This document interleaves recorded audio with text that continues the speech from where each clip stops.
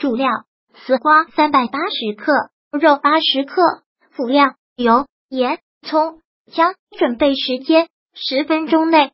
制作时间：十到二十分钟。丝瓜去皮切块，肉、葱、姜切块。锅里油热后放葱姜爆锅，再放肉炒香，加适量味精先炒香，再放丝瓜翻炒，加适量盐和味精调味，炒至丝瓜变软后即可。烹饪技巧：丝瓜炒软才好吃。如果喜欢本视频，请分享并订阅本频道，别忘了按赞哦。